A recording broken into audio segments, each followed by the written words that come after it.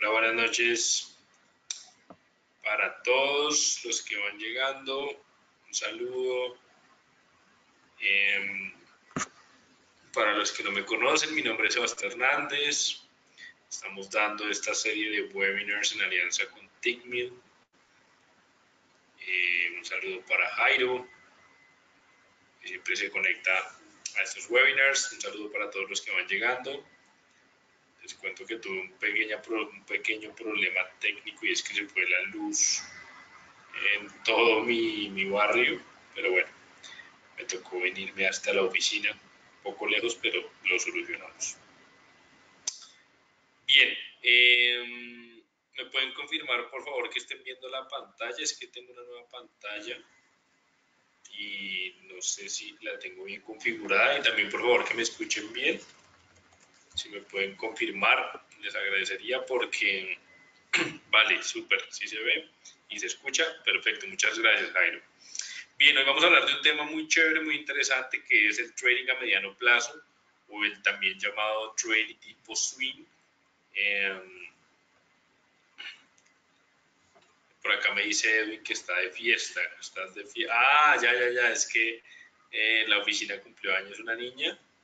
Eh, le celebraron. Entonces acá siempre se le decora el puesto y por eso las bombitas.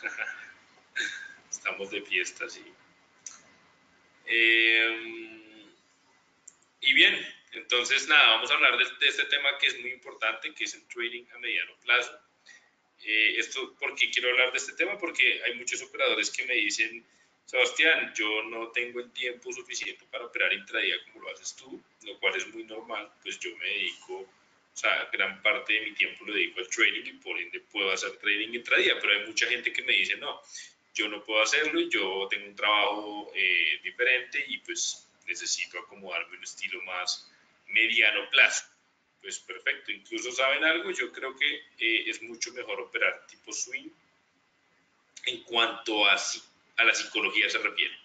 Cuando uno opera eh, tipo swing, pues no está tan pendiente de las gráficas, no está tan, tan metido ahí, y pues eso puede, digamos, que dar un poquito más de salud mental, por, por decirlo de algún modo. Bien, eh, no, no, no, es mi cumpleaños, yo cumplo años en mayo. Cumplió años una niña eh, de la oficina, porque no, hoy no pude hacerlo desde mi casa, se fue la luz pero no es de cumpleaños. Eh, cuando sea mi cumpleaños yo les aviso para que me manden el regalo, por, por favor. vale, entonces nada, eh, lo, importante acá es que vamos a repasar la estrategia que tenemos, la estrategia de descomposición fractal, y vamos a hacer el análisis para ver cómo se aplica a, a un trading tipo swing. ¿Listo? Entonces, empecemos. Con el aviso legal y de riesgo, operar con contratos por diferencia, lo que son los CFDs y Forex es muy especulativo y de alto riesgo y no es adecuado para todos los miembros del público en general, sino solo para aquellos inversores que comprenden y están dispuestos a asumir los riesgos económicos, jurídicos u otros involucrados y que tengan en cuenta si sus, si sus, circunstancias financieras personales, sus recursos financieros, su estilo de vida y obligaciones son financieramente capaces de asumir la pérdida de toda su inversión y la información presentada no es una recomendación de inversión ni asesoramiento financiero. Entonces, eh, empecemos ahora sí.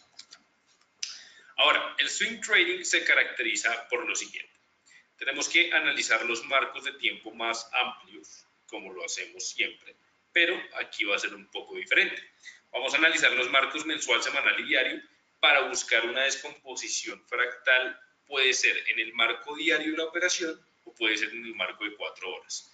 Ya no, no existe el marco ni de una hora ni de 15 minutos, esos marcos no nos sirven porque son marcos intradía. Aquí estamos hablando de marcos a mediano plazo, operaciones que van a durar días o incluso semanas o también meses. Entonces, eh, esos marcos de descomposición como H1 y, más abajo ya no nos van a servir, ¿vale? Eh, Aquí también tenemos que tener en cuenta que solo vamos a ejecutar operaciones en dirección a la, tendencia. Es muy difícil hacer un trading tipo swing ejecutando operaciones en contra de la tendencia, porque precisamente un contra tendencia puede durar horas por mucho unos dos o tres días, em, pero no puede, o sea, uno no puede eh, operar en contratendencia en movimientos que vayan a durar días o semanas. Un saludo para socia Judith que se está conectando acá con nosotros. Eh, a ella le gusta mucho este tema del, del, trading tipo swing, entonces espero que te guste mucho este webinar, Judith, desde Cúcuta. Eh, me imagino que está haciendo mucho calor por allá.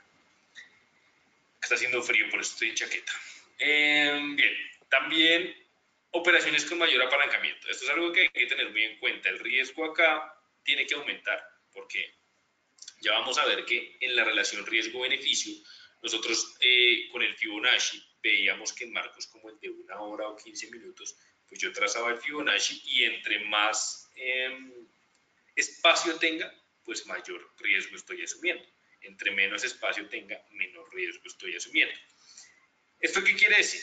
Como todos sabemos, en Forex se manejan los llamados lotes, que serían como unos contratos que se pueden, eh, digamos, modificar.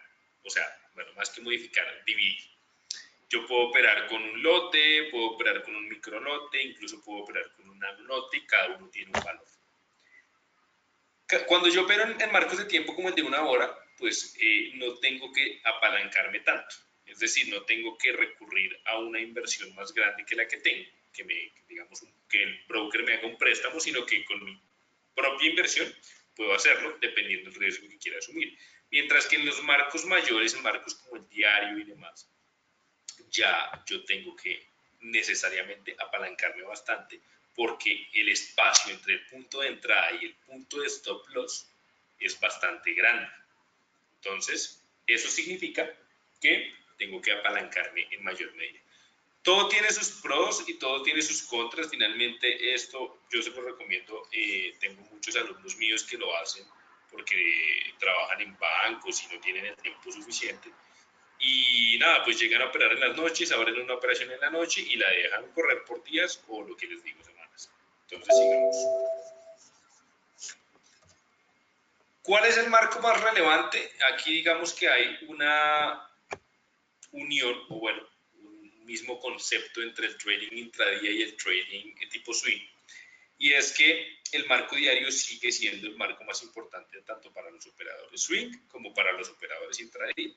Aquí tenemos el marco diario del euro dólar y precisamente quiero hablar también eh, de lo que está ocurriendo actualmente con las divisas, entre ellas el euro, porque eh, veo que esta semana parece que va a presentar muchas oportunidades. Ya presentó una muy, muy buena en el dólar canadiense, le vamos a dar un repaso a la hipótesis que teníamos. Y pues el euro dólar me parece a mí que está dando un patrón excelente. Para darle un pequeño repaso a esto y digamos entrar un poco en el tema de las correcciones ordenadas y profundas, si recuerdan en un webinar yo hablaba eh, que pues, el euro dólar aquí hizo un patrón de doble techo que es pegar dos veces en la misma resistencia. Como el tercer principio del análisis técnico dice la historia se repite, pues el activo se devolvió en precio, rompió esta zona de soporte, viene y cae, y a este movimiento bajista lo llamamos un movimiento extendido en velas. ¿Por qué? Porque hubo más de tres velas a la baja. En este caso hubo 3, 4, 5, 6, 7. Ahora, muchos me preguntan, ¿y por qué cuenta esta vela verde? Si la vela verde no interfiere en el movimiento bajista, o sea, no hace que eso empiece a subir, entonces se considera una vela bajista y por ende todo esto es un movimiento extendido en velas y, recibe nombre en inglés de sell-off. Entonces cuando les digan sell-off ya saben que es un movimiento extendido en velas a la baja. Posteriormente el activo hace una corrección, es decir, aparecen los eh, demandantes, los compradores, y miren lo que hace, el activo rebota hasta una zona de resistencia que hasta el momento le está costando vulnerar. Entonces, ¿qué debería hacer un trader eh, intradía? Bajarse al marco de cuatro horas o al marco de una hora y buscar un patrón de venta, una señal técnica o bueno, lo que sea que opere. Pero el trader tipo swing ya no tiene que hacer eso. Si yo voy a operar el marco diario, porque yo estoy muy ocupado y no tengo el tiempo de estar mirando cada cuatro horas el mercado o cada hora, sino lo puedo estar mirando cada ocho o diez horas, pues entonces yo debería abrir una operación en corto que más adelante les voy a mostrar más o menos cómo se trazaría esa, cómo se pondría la, la entrada y demás, buscando que el activo caiga hasta esta zona. ¿Cuánto puede tardar eso? Pues es muy relativo. Eh, puede tardar un día como puede tardar eh, un mes. Si nosotros vamos al, pasado más reciente, en agosto de 2019, cuando el activo tocó esos niveles, se demoró uno, dos, tres días en tocar. Muy poco. Eh, un poco más reciente, en esta caída, pues se demoró uno, dos, tres, cuatro, cinco, seis. Y no lo tocó, se acercó a la zona, pero no lo tocó. Entonces podemos esperar que eh, en el transcurso de unos días, 3, 4, 5, 6 días, pues el activo toque esta zona de resistencia y empiece a retroceder en precio para buscar su nivel de soporte. ¿Por qué damos esta hipótesis? No solo porque el marco diario esté mostrando debilidad en el precio, la damos porque el marco mensual y semanal están mostrando una clara tendencia bajista y estamos alineando los múltiples marcos de tiempo a una operación que vaya en dirección a la tendencia. Recuerden que si hacemos trading tipo swing o mediano plazo, no podemos ejecutar operaciones en contratendencia porque estas son operaciones que duran horas y eso no nos va a servir de nada. ¿Vale? Entonces, eh, sigue siendo el marco más importante, pero aquí hay una condición y es que ese marco tiene que estar alineado al marco semanal. ¿Qué quiere decir esto? Cuando uno opera en marcos intradía, como lo son H4 y H1 o incluso 15 minutos, digamos que los tres marcos de tiempo mayores no es tan necesario que estén alineados. Siempre y cuando el marco diario muestre una dirección, sea bajista o sea alcista, yo puedo ya eh, pasarme a los marcos intradía sin necesidad de alinear esos, ese esa triple temporalidad. Mientras que en el trading tipo swing eso ya se vuelve una condición obligatoria y no hay manera de que eso no pase. Porque si lo hago de una manera distinta, entonces eh, podría llegar a caer en un error. Y recuerden que los vicios del trading llevan a uno quemar sus cuentas. Entonces, bien, ¿qué podemos esperar de una corrección en precio ordenada, es decir, inferior al 60% para los que recuerdan el webinar en que hablamos de esto? Pues que el activo empiece a caer en precio. Hay dos maneras en las que lo puede hacer. Puede hacer una vela de rango amplio que se lleve toda la fluidez. Esto, pues, esto sería increíble eh, para cualquier operador que esté en corto. ¿sí? O que se vaya en varias velas en el marco diario, que es lo más común, lo que pues, yo esperaría que pase. No sé, cinco, seis, pueden ser más, pueden ser menos. Y pues que llegue a este nivel de soporte. Ya sabemos que pues tendríamos que abrir una, una, una operación de venta en corto más o menos en esta zona y que nuestro punto de utilidad sería acá. Vamos a borrar esto y seguimos entonces. Bien, eso con respecto al euro dólar. Ahora, ¿cómo trazo yo ese Fibonacci? Y aquí vamos a poner dos puntos diferenciales entre el trading intradía y el trading tipo swing. Si se dan cuenta, este Fibonacci es muy amplio y me refiero a amplio porque el espacio entre la entrada y el stop loss es bastante. Eso significa que mi relación riesgo-beneficio va a disminuir, pero va de la mano con lo que les comentaba anteriormente. Como yo estoy operando el marco diario, yo estoy arriesgando mucho más dinero. Yo aquí si tengo una cuenta de, no sé, 100 dólares, yo no puedo arriesgar 10 dólares. Me es imposible porque este espacio entre stop loss y entrada va a hacer que al momento de generar la orden yo me tenga que apalancar bastante y tenga que tomar un riesgo, no sé, digan ustedes de unos, yo creería que menos de unos .5 lotes no me va a dejar entrar al mercado. Entonces, por ejemplo, si yo tengo una cuenta en la que después de hacer mis cálculos me dice, para arriesgar el 1% de su cuenta tiene que entrar con .01 lotes, pues ok, aquí ya no puedo hacer la operación, tengo que tener un poco más de dinero y por ende tengo que asumir más riesgo. Aquí ya digamos que la regla del 1% es válida en cuanto al riesgo para aquellos inversores que tienen cuentas de más de, no sé, unos 3 mil dólares en adelante. Pero para inversores que tienen cuentas inferiores a mil dólares, pues no va a aplicar y tendrían que asumir un riesgo mayor. No está mal porque finalmente eh, ese espacio permite que el activo en los marcos intradía pueda fluctuar, pueda ser volátil y aún así mi operación pueda seguir eh, siendo, eh, digamos, técnicamente estable. Entonces, ¿qué esperamos que pase? Yo en estos momentos podría abrir una operación de venta acá. Ahora, ustedes, eh, los que no conocen este Fibonacci, me estarán, se estarán preguntando, bueno, ¿cómo funciona esto? Lo que esperamos es que el activo aquí, la operación se haría una orden programada llamada sell stop donde este sería mi punto de entrada, este es mi punto de stop loss, pero ese stop loss solamente se activa si y solo si el precio del activo empieza a caer y toca el punto de entrada.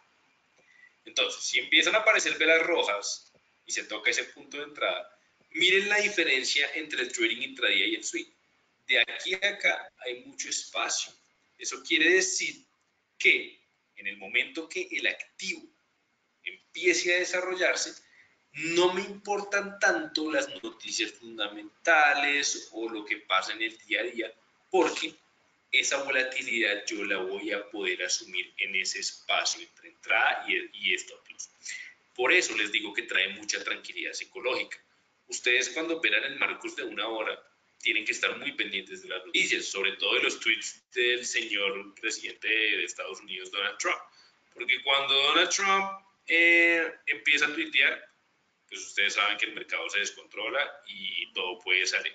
Una operación que va bien técnicamente se daña y ustedes quedan como... Ah, no significa que en el marco diario no pueda pasar. En el marco diario yo también he visto volatilidades que pues nada, lo sacan a uno inmediatamente. Pero es un poco menos común. Bien. En el momento en que se active, nuestro, nuestra toma de utilidad estaría en esta zona de soporte. Esto nos da simplemente dos veces el riesgo asumido, lo cual ustedes saben que es bueno, pero no es a lo que queremos llegar con nuestro trading. Entonces, como pasa eso, lo que yo debería hacer es aumentar mi riesgo. Si estoy arriesgando el 1% con una cuenta de 3 mil dólares, pues, ok, puedo subirle a un 4 o 5% sin, digamos que no habría tanto temor pero solo porque estoy haciendo operaciones a mediano plazo. De lo contrario, ese aumento de riesgo me, me traería, me acarrearía muchos, pero muchos problemas, ¿vale?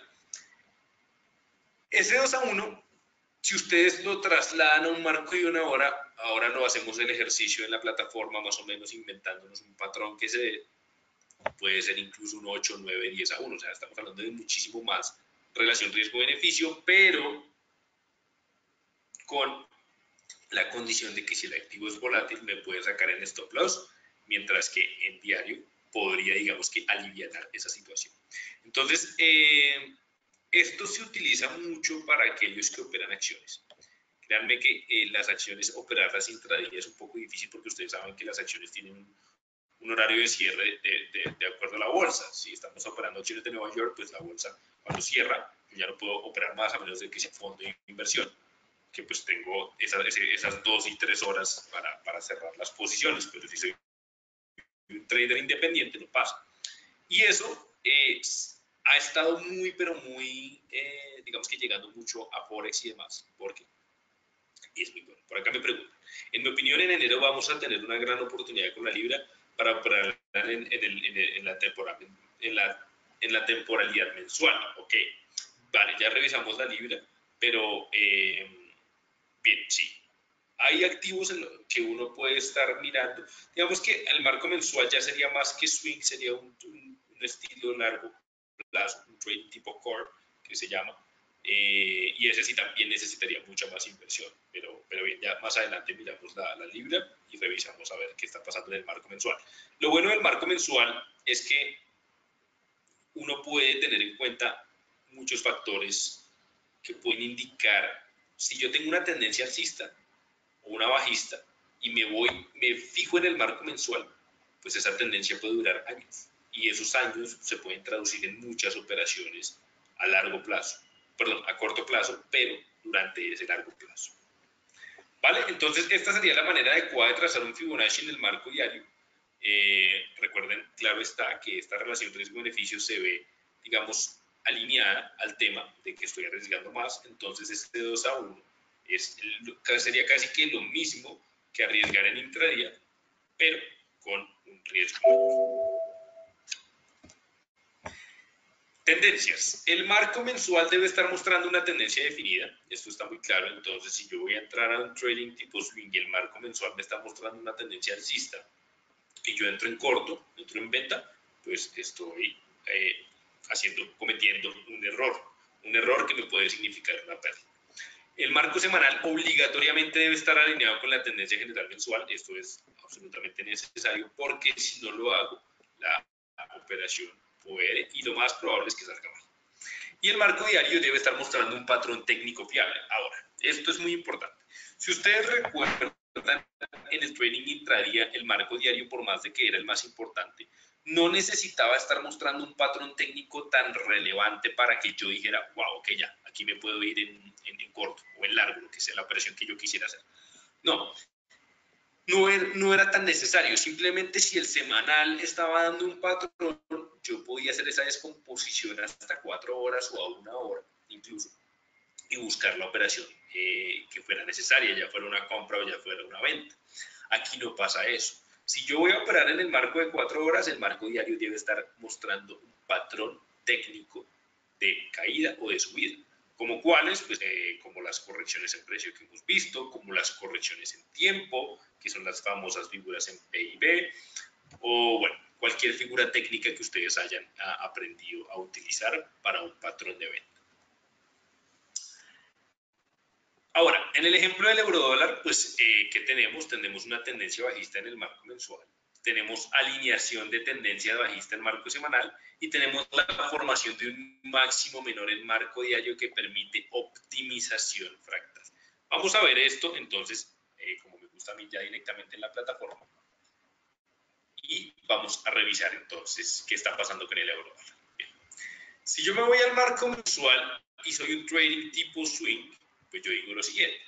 Ok, marco mensual, clara tendencia bajista, tiene un movimiento muy pero muy bajista y tiene un poco de fluidez desde su zona de precio hasta, hasta el siguiente nivel de soporte, lo cual es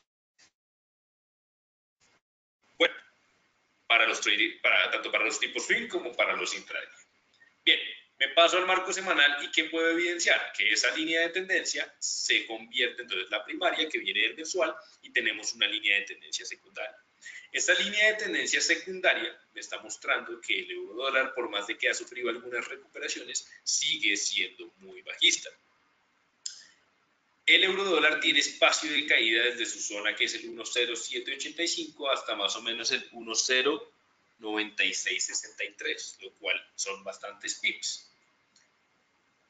Tenemos dos marcos de tiempo alineados, entonces si yo fuera un, trading, un trader tipo swing o voy a eh, ejecutar una operación en swing, yo digo, ok, ya tengo la primera regla establecida.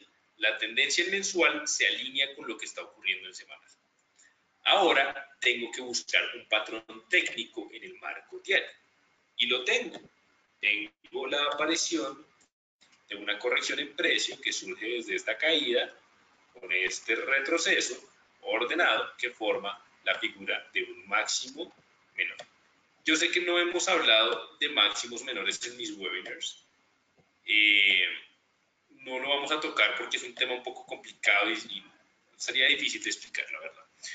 Pero esto finalmente lo tocamos no como un máximo menor, sino como una corrección en precio ordenada. Y dijimos que una corrección en precio ordenada, sobre todo cuando está en una zona de resistencia, pues ¿qué puede hacer? Puede empezar a caer. Bien, eso es lo que es lo más probable que pase con el euro dólar.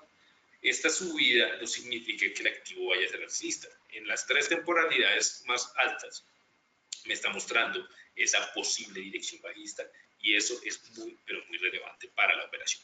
Entonces, si yo soy eh, trading tipo swing, pues ¿qué hago? A ver, yo trazo el Fibonacci, puedo trazarlo más o menos acá, con un stop loss acá. ¿Por qué en stop loss acá? Porque ha sido el máximo eh, que ha alcanzado en los días que fue esta vela.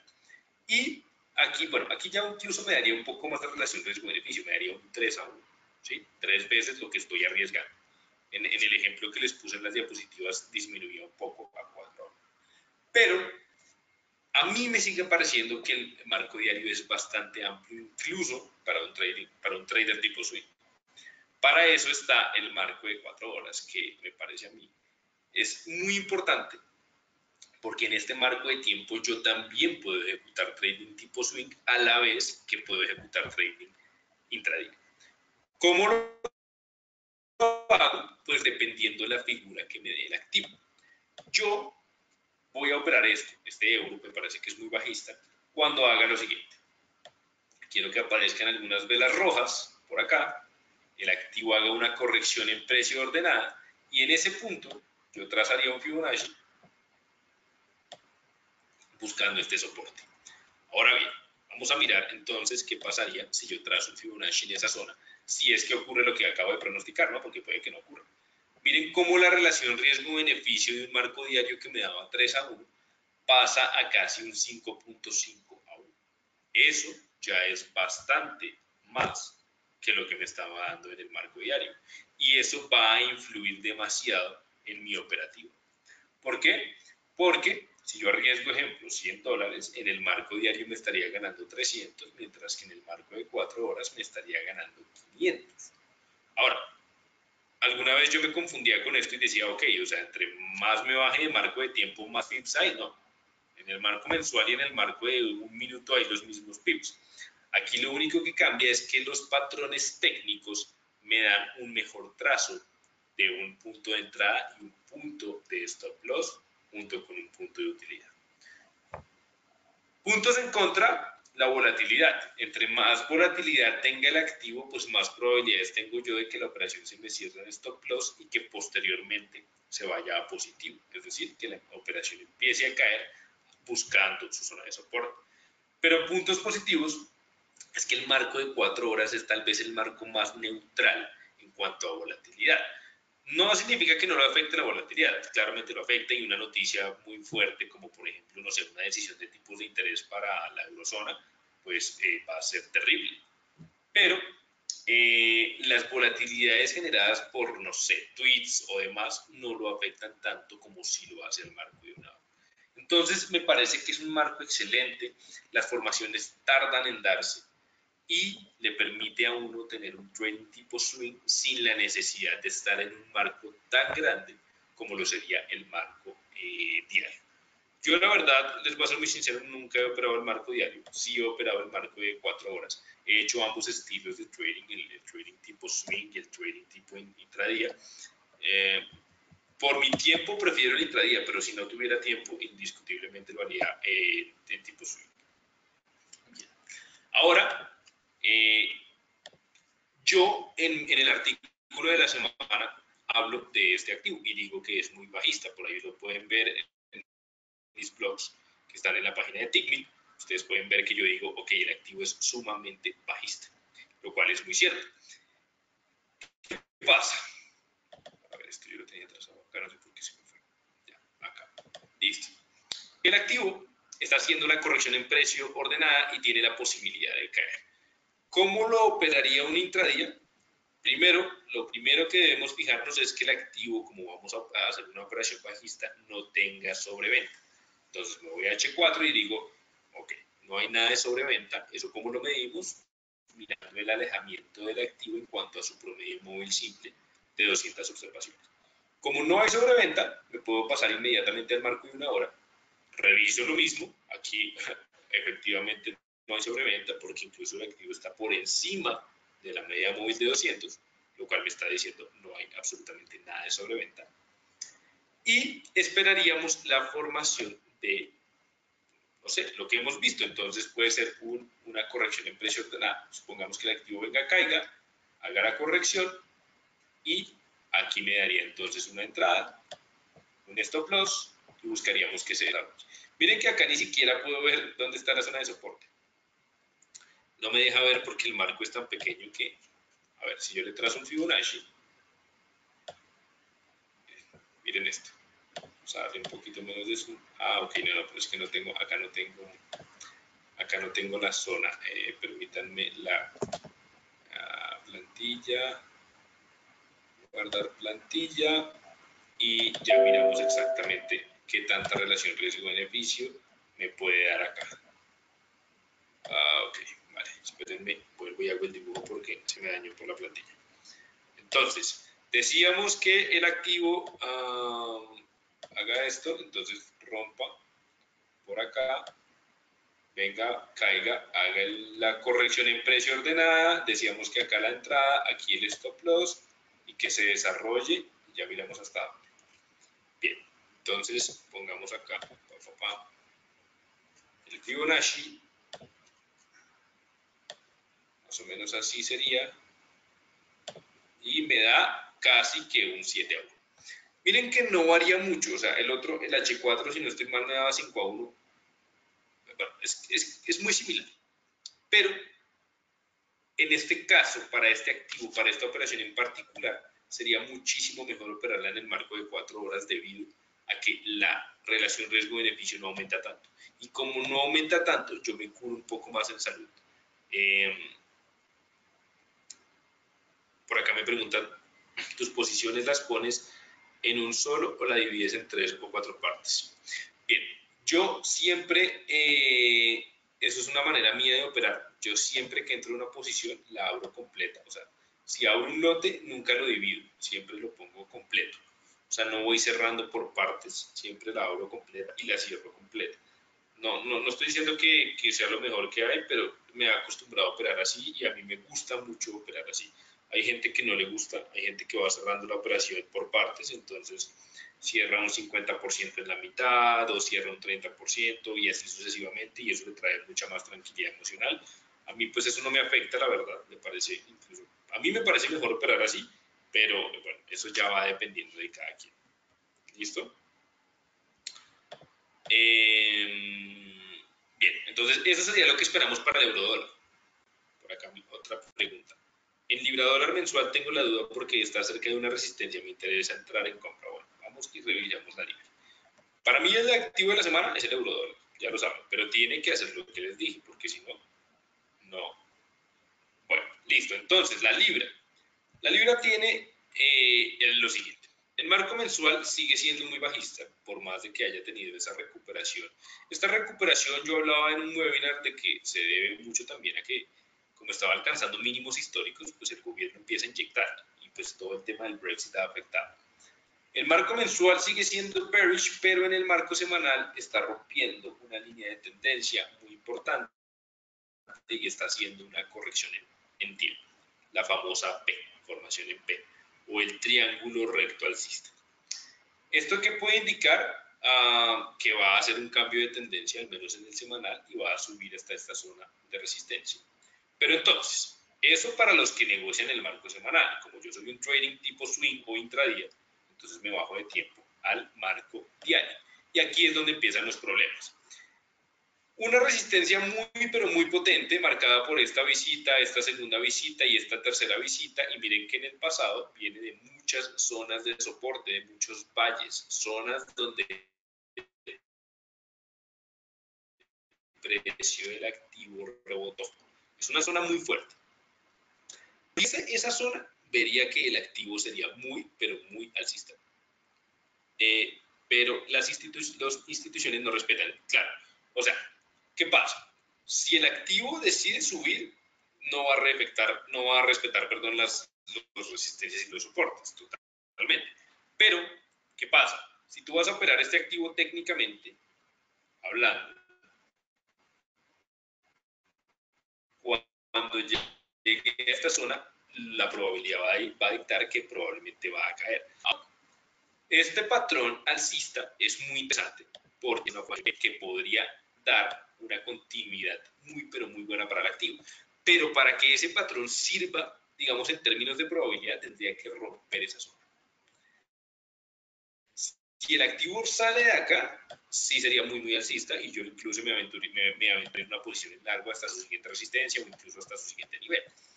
Pero yo preferiría, eh, esto ya es una opinión mía, que rompa esa zona de resistencia, porque finalmente eh, por más de que las instituciones no lo respeten, porque claro, pues, eh, el precio cuando toma un fundamental se va con todo.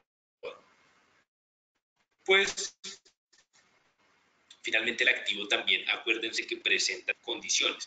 La primera es que cuando un activo se aleja del marco diario, se empieza a sobrecomprar en H4 y en H1.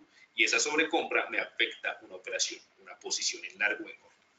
Aquí en H4 no lo veo tan sobrecomprado, vamos a ver en H1. Miren cómo en H1, ya cuando estuvo tan sobrecomprado, este alejamiento empieza a acercarse a su media móvil de 200. Entonces, yo creo que yo estoy porque no sé qué vaya a hacer. Eh, yo me mantendría flat, o es decir, no entraría ni en corto ni en largo, hasta que me demuestre que va a hacer algo. Opiniones encontradas y digamos que ambas están bien, o bueno, tienen sus, sus argumentos. La primera es la que me está diciendo acá eh, Cristian, que me dice, ok, el activo es alcista, sí es alcista porque está rompiendo una línea de tendencia semanal, pero tiene un problema y es que en el marco diario, que es el marco más importante para los swing y para los intradía, está en una resistencia potente. También está la opinión bajista que me dice, no, pero es que esa resistencia lo va a hacer devolver porque finalmente así actúan las resistencias. Eso estaría alineado al principio de que la tendencia bajista en mensual es amplia, pero yo como trader prefiero tener mucha más seguridad y esa seguridad la da el marco semanal. Aquí tengo tres marcos desalineados. Mensual es bajista, semanal es alcista y diario está enrangado o lateral.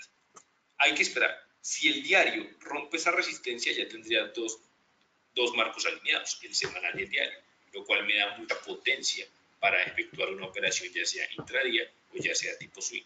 Pero necesito que salga de esa zona de congestión.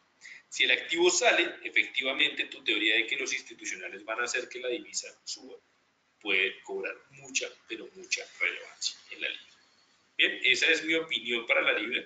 Finalmente, si ustedes miran el marco de cuatro horas, ha estado muy bien rangado tuvo esta super subida que se debió mucho a un tema de noticias y demás, pero se ha mantenido muy enrangada y operarla en estos momentos no me parece, en mi opinión, que sea la mejor opción. ¿Vale? Eso es lo que yo opino. Ahora, otro activo que para mí está muy bien, o sea, miren, ¿por qué les digo yo que la libra no me interesa tanto? Si no hubiera ningún otro activo más, pues miramos cómo operar la libra, pero es que el euro está hermoso y el australiano está muy, pero muy bien. O sea, está dando unos patrones increíbles. Ahora ustedes me van a decir, bueno, pero ¿dónde los está dando? Mírenlos acá. Lo mismo, entonces, soy un trader tipo swing y entro al mercado y voy a ver qué hay. Bien, miro que el marco mensual, sin necesidad de abrirlo, está supremamente bajista. Muy, pero muy bajista. El semanal, igual, muy, pero muy bajista. Y acá incluso presentó la famosa ruptura fallida. Estaba rompiendo la línea de tendencia y nuevamente se ubica por debajo. Ya sabemos que eso puede ser una señal de que el activo va a seguir buscando su soporte o va a seguir cayendo, continuando con su tendencia general. Si me voy al marco diario, ¿qué puedo ver entonces en, el marco diario? Miren cómo hace el movimiento extendido en velas o el sell-off, una, dos, tres, cuatro, cinco velas bajistas, empieza a corregir en precio y esa corrección empieza a buscar esta línea de tendencia. Si busca la línea de tendencia y la llega a tocar y se llega a desarrollar, tenemos un buen espacio hasta su zona de soporte. Precisamente el domingo que yo hice mi premercado, mi análisis de mercados, a mí me preocupaba lo siguiente, a ver, el domingo el activo estaba más o menos por acá a mí habían dos cosas que me preocupaban el domingo. Y era uno, que había sobreventa, no mucha, pero había alejamiento de la media móvil de 200. Eh, para los que me preguntan es SMA, promedio móvil simple de 200 observaciones. Y segundo, pues que había una zona de soporte que yo decía, mm, ¿será que sí la va a vulnerar? Aquí qué pasó y que sirve muchísimo. El activo perdió toda la sobrecompra, tocó incluso su media móvil de 200 y la probabilidad de que arrojando una señal técnica caiga, pues ya empieza a ser mucho, pero mucho mayor. Entonces, el australiano ya para mí vuelve a, ese punto donde yo quiero operarlo, solamente estaría en espera de que me dé una señal técnica, si es tipo swing en el marco de cuatro horas y si es tipo intradía en el marco de una hora.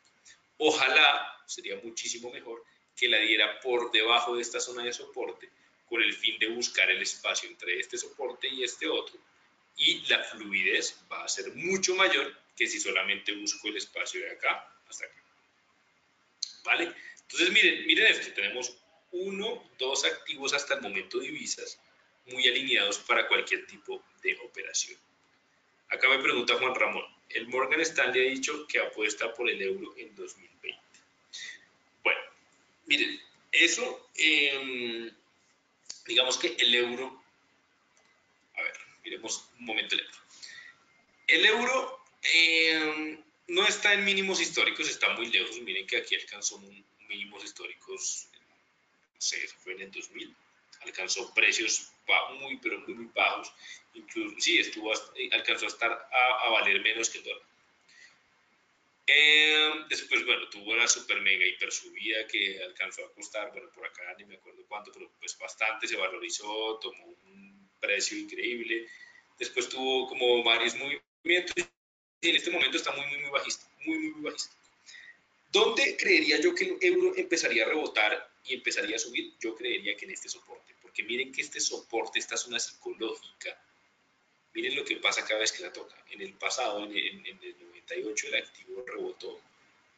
Aquí en esta zona rebotó hasta sus máximos históricos, aquí vuelve y rebota. Entonces, si llega ahí, yo pensaría que haría eso.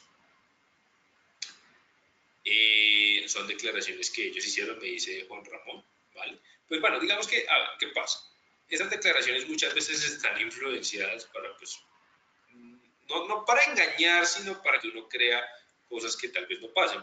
Se los digo porque he visto mucho el tema de los índices americanos. Si ustedes se meten en Investing eh, hace como tres años, dos años, un año, decía, el fin de los índices van a caer y va a entrar en recesión la economía.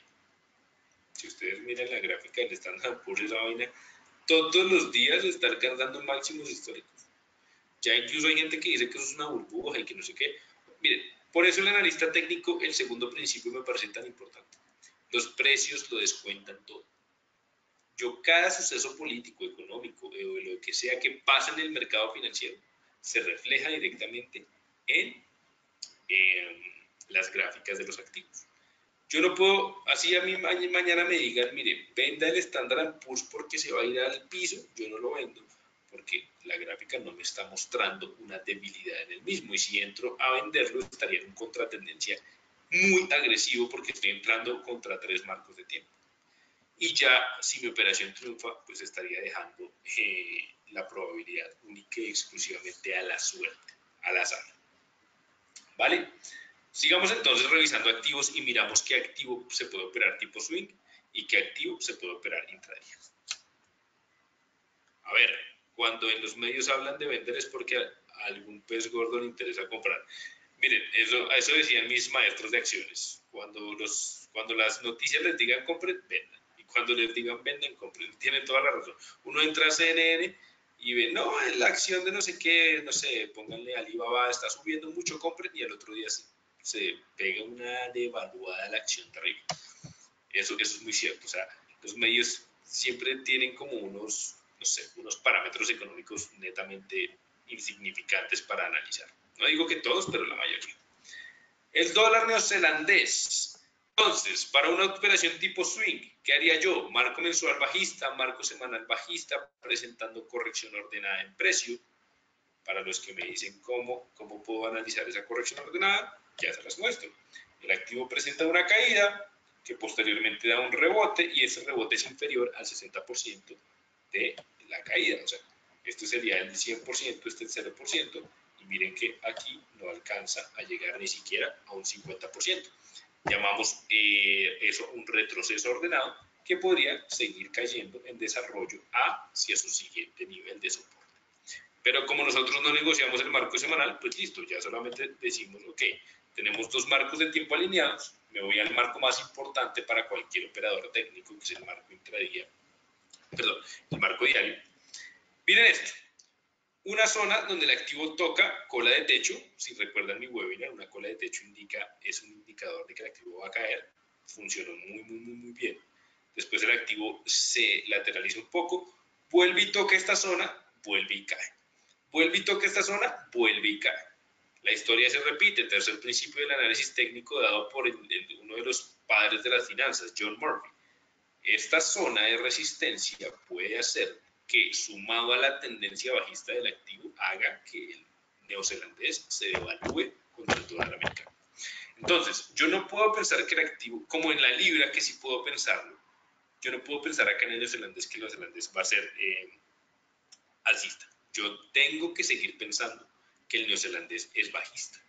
Por una sencilla razón, y es que los marcos de tiempo mayores, el mensual y el semanal, están muy alineados para que el activo sea bajista. Entonces, tipo swing, ¿cómo lo puedo operar? Me voy a H4 y digo, ok, hasta el momento está muy alcista, no tengo ninguna señal de que vaya a caer hasta el momento. Cuando me dé una pequeña señal, pues yo podría trazar un Fibonacci. Ah, no sé, digamos que aquí ya me hubiera dado la señal, no la ha dado. Ah, algo así, puede ser. Un stop loss por encima para tener cuidado. Me daría un 4 a 1 hasta su primera zona de soporte. Y si ya me voy pues más, más free, pues 9 a 1, lo cual sería bastante interesante. Ahora, si yo soy trading intradía, que es ya más mi estilo, ¿qué esperaría? Uno, tengo un rally, un movimiento extendido en velas alcista, que en inglés se le conoce como rally. Un rally, eh, la probabilidad me dice que después del movimiento extendido en velas vienen consolidaciones. Eh, eso lo vimos en ciclos económicos. Probablemente después de toda esta subida, el activo empiece a hacer una consolidación o una etapa 3. Y después de esa etapa 3, entonces yo le trazo un soporte. Cuando rompa esa etapa 3 y hago un máximo menor o una corrección en precio ordenada, pues me voy a buscar lo siguiente. Me voy a buscar mi Fibonacci, le trazo por acá un, punto de entrada y un stop loss y miren que ni siquiera me da, o sea, el 10 a 1 sería muy poquito me daría demasiada relación riesgo-beneficio. Por eso me gusta tanto, mire, o sea, yo no sé si esta semana, pero este mes se ve muy prometedor para todos los activos. Las divisas están mostrando unos comportamientos muy, pero muy interesantes. Solamente hay que esperar ese, ese, ese patrón técnico que nos permita operar. Aquí miren cómo alineamos, cada vez que yo opero busco alinear todos los conceptos que les he enseñado. Ciclos económicos, una etapa 2 que hace que el activo suba completamente, Etapa 3, donde el activo entra en una lateralidad. Etapa 4, pues el activo vuelve a su tendencia original. ¿Qué más tenemos? ¿Qué más nos ayuda a pensar que el activo va a ser bajista? El nivel de sobrecompra debido a la extensión en velas ya se hace cada vez mayor y podemos pensar que el activo va a retroceder a buscar su media móvil. Ahora, muchos alumnos me preguntaban a mí, pero Sebastián, usted me dijo que no operara en sobrecompra. No, pero si se busca una, no opera en sobrecompra si busca un largo o una compra. Pero si voy a buscar un corto y tengo sobrecompra o una venta, perdón, pues muchísimo mejor, porque tengo más probabilidades de que el activo vaya a buscar esa zona que yo quiero que esté buscando. Bien, entonces, eh, esa es mi opinión para el, dólar neozelandés. Mucha gente a mí me dice, no, es que para mí el dólar neozelandés está superancista. Eh, para mí no no lo está para mí los marcos de tiempo que son los que realmente sirven mensual, semanal y diario, están muy pero muy bajistas y por eso hay que hacerle caso entonces a la resistencia que para eso se traza, para eso la plataforma MT4 me deja dibujarle zonas de resistencia. Bien, ahora quiero que vean la operación que dio el canadiense que fue espectacular, tanto para swing como para intradía, pero más intradía. Y aquí eh, quiero hacer el análisis completo. Marco mensual. ¿Qué podemos identificar? Una tendencia absolutamente alcista. Recordemos, la tendencia se traza entonces uniendo los valles o los mínimos del activo. Aquí unimos muchos. 1, 2, 3, 4, 5, 6, 7. Bien, estaba tocando línea de tendencia. Primer principio que me daba Charles Dow.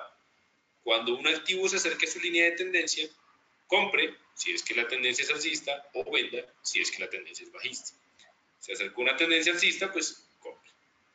Yo no opero el mensual, no importa, ok, me voy al semanal y digo, vamos a ver si está pasando lo mismo. Lo mismo, tocó línea de tendencia, que me dice Charles Dow, compra. El que hubiera comprado ahí solamente por seguir los principios de Charles Dow, que estamos hablando de hace un siglo, 100 años, pues habría tenido una operación donde el activo, o sea, un swing o un core un, un intradía perfecto. Pero yo tampoco pero semanal porque me parece que es muy alto y no tengo una cuenta que me dé para eso, no importa. El marco diario, y esto lo, o sea, a mí me gusta que esto quede grabado porque es que mucha gente a uno le dice, no, usted lo dice porque claro, ya pasó. Si ustedes se acuerdan, en el último webinar yo decía que aquí había la aparición de una corrección en precio ordenada. Bien, esta corrección en precio ordenada yo les decía, literal, o sea, voy a citarme a mí mismo. Tenía que tocar este soporte, miren cómo lo toca con esta cola y posteriormente se desarrolla la operación.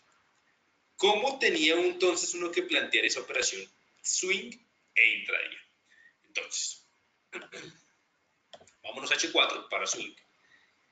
Miren, aparición de una cola de piso en zona de soporte que me estaría dando la entrada. Entonces, un swing que hubiera podido hacer en ese mismo instante, trazar un Fibonacci después eso se trazaría más o menos así. Acá.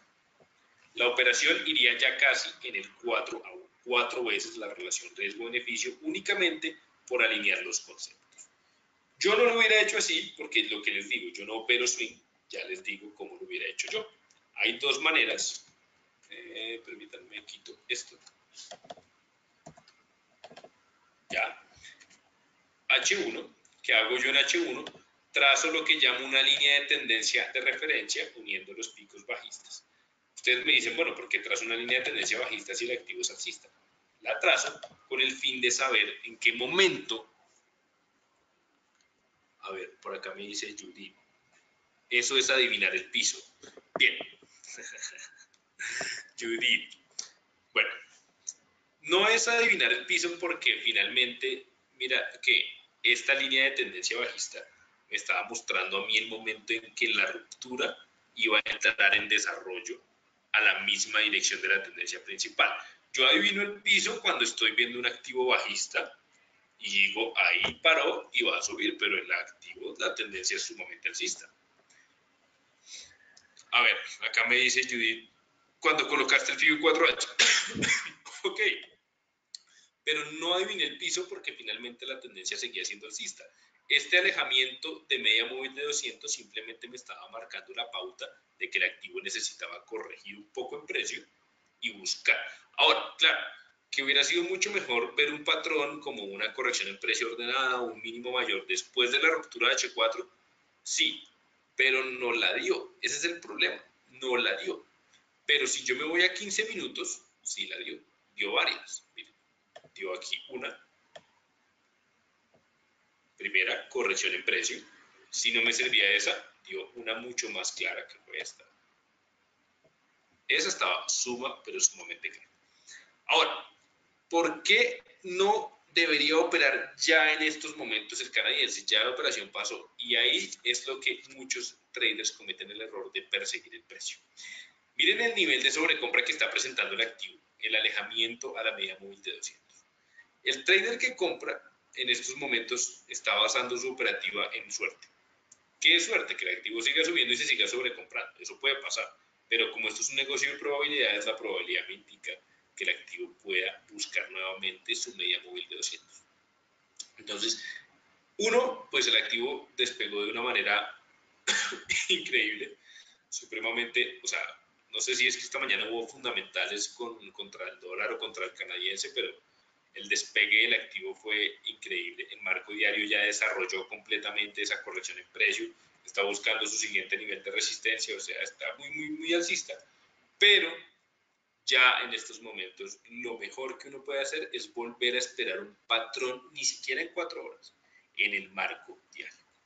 Y exactamente, el canadiense suele ser así. Eso, eh, este activo es mucho de hacer velas de rango amplio es muchísimo de, velas de, terreno amplio. Por acá me dice Edwin, debilidad del CAD porque el, el DXY se mantuvo consolidado en 97. Ok, bueno. Pueden haber muchas razones de la subida del activo. Pueden ser técnicas, pueden ser fundamentales. Finalmente los técnicos lo entendemos como que la demanda superó a la oferta y empezó a subir.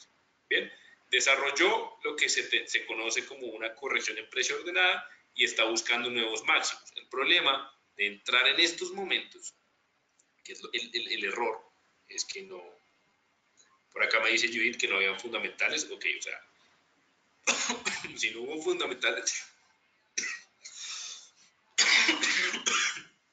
perdón, si no hubo fundamentales, pues el que haya comprado de manera técnica, pues se habrá asombrado por esa pared que presentó el activo en el marco de una hora. Bien, entonces, esa hubiera sido una manera de operar em, fundamentales hasta el día viernes. Perfecto, muchas gracias. HL en H4 hasta que el diario esté extendido en velas, me dice Judith. Exactamente, bueno, pero ah, ya hay mucha verticalidad. En H1 me parece a mí, para mi forma de operar, que la verticalidad en H1 ya es bastante y la verticalidad puede traer movimientos de consolidación que no queremos eh, encontrar. Miremos el yen. El yen está haciendo un patrón casi que similar em, y vamos a mirar lo mismo, swing y, e intradía. Marco mensual no hay, digamos que, o sea, el activo parece alcista, pero en estos momentos más que alcista parece un poco más lateral. Porque, bien, si bien tuvo una super mega subida, después tuvo una caída y esto, esto ya es más que una tendencia alcista, una tendencia lateral, pero miren que esta zona de soporte puede, digamos, mostrar una posible subida del activo hasta su siguiente zona de resistencia.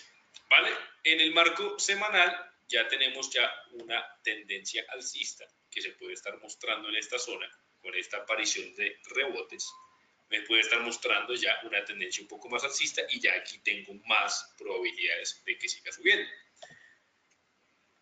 Ya tendría entonces que alinear el marco diario. Y miren lo siguiente, está, digamos que todavía está en la zona de línea de tendencia. Muchos me pueden decir, ya la rompió, pero esa ruptura puede que sea fallida. Y es probable que sea fallida. Si es fallida, tenemos un problema y es que tiene una resistencia. Entonces, lo mejor para este activo para operarlo tipo swing o tipo intradía sería que haga esto, que rompa la resistencia y por encima de la resistencia yo ya puedo buscar operaciones en largo muy, pero muy tranquilamente. Entonces, si ustedes quieren ver esto en el marco de cuatro horas, pues hacemos lo siguiente. A ver, H4. Miren acá cómo, cómo la descomposición fractal me muestra una línea de tendencia mucho más eh, cercana a los 45 grados cuando la pongo en H4. Aquí, claro, la rompió, entonces muchos dicen, ah, no, entonces ya rompió, entonces puedo entrar en contratendencia. Eso es un error. Lo que yo esperaría es que el activo empiece a subir, en la subida rompa, haga la corrección en precio ordenada, y si recuerdan, esto se llama un throwback, donde rompe resistencia y pasa a ser soporte, y ahí sí buscaría una muy buena operación alza. Esa sería mi manera de operar tanto. En ese caso estaríamos, estaríamos hablando de, un swing porque estamos hablando de H4. Y en el caso de intradía en H1 esperamos lo mismo, eh, pero pues con el patrón en el marco de una hora. ¿Vale? Esa sería la manera de operar el yen. Listo. Entonces, miren que finalmente, sea cual sea el estilo de trading que uno maneje, sea a largo plazo, sea a corto plazo, sea a mediano plazo, siempre estamos buscando eh, alinear los múltiples marcos de tiempo. Yo no sé qué estrategias manejen ustedes, eh, yo no soy quien para criticarlas o decir que funcionan o no funcionan, pero sí les puedo decir algo. Si sus estrategias no tienen en cuenta la tendencia general del activo o la fractalidad y la descomposición del mismo, puede que estén mal. Y si ustedes únicamente buscan eh, comprar o vender un activo, perdón, comprar o vender un activo solamente porque está subiendo o está cayendo, eso es otro error grave. Les recomiendo que sea cual sea su estrategia, siempre alineen los marcos de tiempo. Si tienen tres marcos de tiempo alineados, mensual, semanal y diario, la probabilidad de que la operación se dé va a ser mucho mayor y no importa qué tipo de estrategia utilicen o qué tipo de compras, si lo hacen a través de indicadores y demás, está bien. Ese, ese digamos que ese poder en general lo da la descomposición en múltiples marcos de tiempo. Bien, vamos a dejar entonces estos minutos que quedan para, para preguntas. Por favor, si alguien tiene alguna pregunta, alguna recomendación. Por acá Judith, pero con HL en H4 se te quita. ¿Será que sí, Judith? Yo no creería. Yo creo que ya la verticalidad H1 va a seguir y se va a lateralizar. En el próximo webinar miramos a ver qué hizo el activo o, a ver si nos deja los dos y se va al alza completamente, ni, ni corrige en tiempo ni en precio. Vamos a ver. ¿Alguien tiene preguntas? Eh, ¿Algo que comentar? ¿Algo que no haya entendido? ¿Algo que quiera decirme? lo que quieran. Recuerden que, eh, a ver, me quedan, este es el número 16, el jueves es 17, y la próxima semana vamos a hacer webinars martes, miércoles y jueves, ¿vale? Eh, entonces les quería comentar eso. Ya la próxima semana acabamos, lastimosamente, muy triste, pero bueno, les tengo una noticia muy buena y es que continúo con ustedes desde diciembre. Eh, esta vez ya no vamos a tener temas como tan generales de análisis técnico, sino que vamos a hablar los domingos, para los que les gusta conectarse los domingos, me voy a conectar los domingos a las 7 y media de la noche hora Colombia para hacer premercados y que ustedes aprenden cómo se hace un premercado. Eh, lunes vamos a hablar de análisis técnico de las divisas. Miren, voy a, voy a, voy a, se los prometo que voy a dar todo de mí para que ustedes eh, entiendan lo que son los mercados financieros y lo sepan operar. Voy a darles eh, webinars domingos, domingos, lunes, martes y miércoles, cuatro días a la semana. Eh, me gusta mucho darlos los domingos porque ustedes van a ver mi premercado, o sea, van a ver cómo lo hago, cómo me, me siento a analizar los activos, qué tomo en cuenta, qué no tomo en cuenta y demás. Em, por acá me dice Sebastián, tú, te, tú, tú, das mentorías privadas, me gustaría que fueras mi mentor. Si quieres, escríbeme a mi WhatsApp, eh, yo por ahí lo dejé, porfa, porque o a mi correo, Sebastián Don, bueno, ahora, se los escribo por ahí y, y, hablamos de eso más adelante, ¿vale? Gracias a TICMIL por la oportunidad que nos permite conocer traders muy buenos como tú. Muchísimas gracias, de verdad. Me han llegado muchos, estoy muy feliz porque me han llegado muchas palabras, muchos correos, WhatsApp, donde, eh, miren, e, este, esta labor de enseñar, eh, no hay nada que satisfaga más que las palabras de ustedes. En serio, me, llenan mucho de alegría y me encanta compartir mi conocimiento. Eh, me encanta estar acá con ustedes. Para mí este, este horario de una hora es increíble. Por mí que fueran más, dos, tres horas. Eh, me encanta compartirlo porque... Eh, vale, les voy a dejar mi correo por acá. Esperen un segundito que por acá me lo están pidiendo. Entonces, me pueden escribir al personal, que es sebastandor, arroba, hotmail.com. ¿Vale? Ahí se los dejo. Y mientras tanto voy mirando más preguntas. No, ¿Nos va a llegar la invitación? Claro que sí. Eh, em, eh, los nuevos webinars empiezan, desde el primero de diciembre. Eh, y les va a llegar, claro que sí, la invitación. Incluso estamos mirando a ver si puedo hacer un enlace con un en vivo en Facebook Live. Lo que pasa es que no sé si puedo hacer ambas cosas porque hoy traté de hacerlo precisamente y fue muy difícil manejar las dos plataformas, pero bueno, vamos a ver si podemos hacerlo para que también aparezcan en Facebook Live. Vale, eh, y muchas gracias de verdad, en serio, todos esos mensajes que me dejan, me alegra muchísimo que les esté gustando esta serie de webinars. Eh, cada día estamos muy comprometidos con TICMIL en que ustedes mejoren su trading.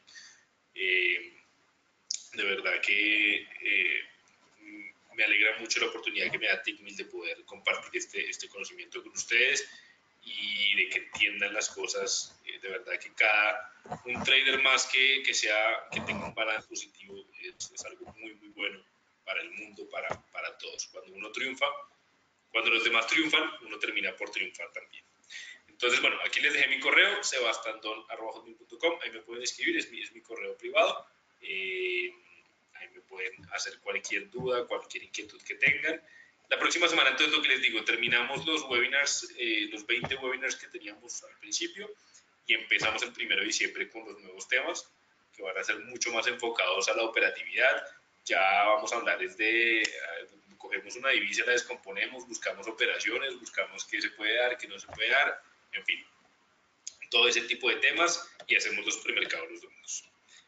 Eh, acá me dicen, por supuesto, tienes un buen método de enseñanza, se entiende muy bien y tú compartes información de alta calidad. Mil, mil gracias, con muchísimo gusto, lo hago con el corazón y me alegra mucho de verdad. No saben lo feliz que me hace recibir esas palabras. Les mando un abrazo muy grande a todos. Nos vemos el próximo jueves. Estaremos entonces con, con otro tema igual súper importante. Eh, un abrazo para todos, cuídense mucho y cualquier cosa me escriben entonces al correo. Que estén muy bien. Hasta luego.